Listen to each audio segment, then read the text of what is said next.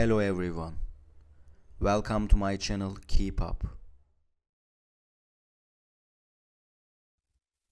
Today I come to you with news about Aslı Enver. The beautiful actress was very angry. As you know, the beautiful actress is just working these days and she spends most of her time working. The beautiful actress can't spare any time for herself while working so hard, and this makes her sad.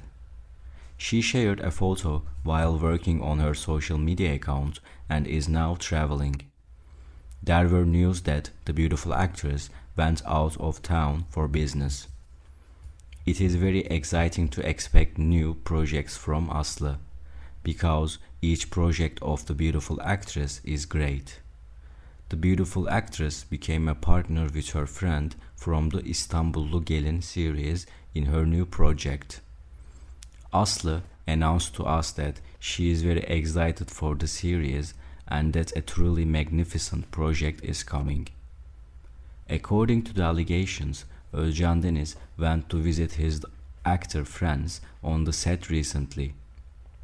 She wondered how the beautiful actress was so he often went to Aslı's set.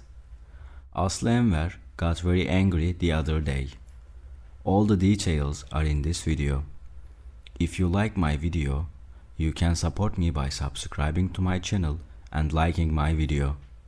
Thank you and enjoy watching. The other day, Özcan's lover made a post about Aslı. She said that she was jealous of Aslı and was afraid that she would take Özcan away from her. The beautiful actress did not want to experience this situation for the second time and was very angry. She shared a great deal on her social media.